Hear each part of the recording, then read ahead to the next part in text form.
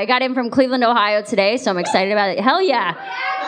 Oh my God, there's like six of us. That's amazing. What'd you say? You were here Friday. I was here Friday, yes, you're right. So thank you for calling me on my bullshit.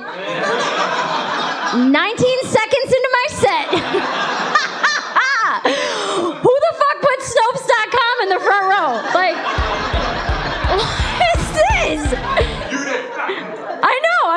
Here and I'm like, I'm like, oh no, I'm just gonna, you know, greet him like I've never been here before, and this guy's like, fucking bullshit.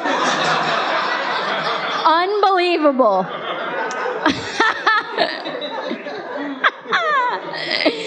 Were you at the show on Friday?